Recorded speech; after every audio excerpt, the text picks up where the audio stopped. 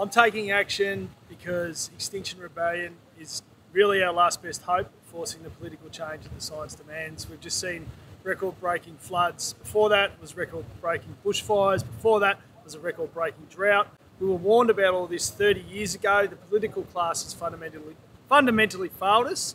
They couldn't even agree to phase out coal at COP26. So our last best hope is mass participation, non-violent direct action, civil disobedience, please join us because this is a numbers game. We need everyone on the street that we can get. Thank you.